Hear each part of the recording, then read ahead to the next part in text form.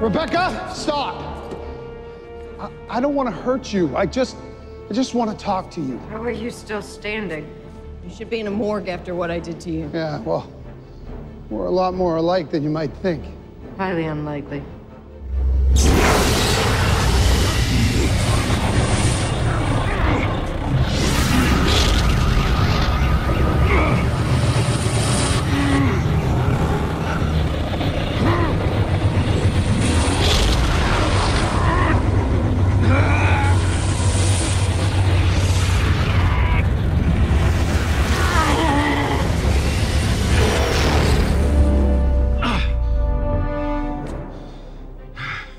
You're one of us, aren't you?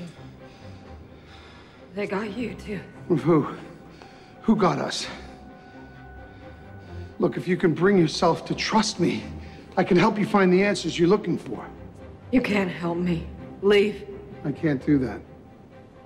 Please, trust me.